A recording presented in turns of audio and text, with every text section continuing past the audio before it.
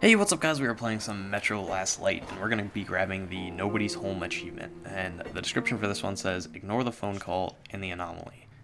So in order to do this one, what you're going to want to do is load up the con level, and um, you're going to get to this part where you have to burn some spider webs, and then you rip this grate off, and then uh, right for this, you're going to come right down through here, and um, you're going to go down this tunnel. This is super sped up. But um, you're gonna get to a point and you're gonna hear a phone ringing, and the guy behind you is gonna say like, "I think it's for you" or something like that. But you want to not answer the phone. Um, I'm not sure if you have to like actually walk past it, but um, I walked up here and the achievement popped for me. So yeah, uh, achievement unlocked. Um, how much gamer score?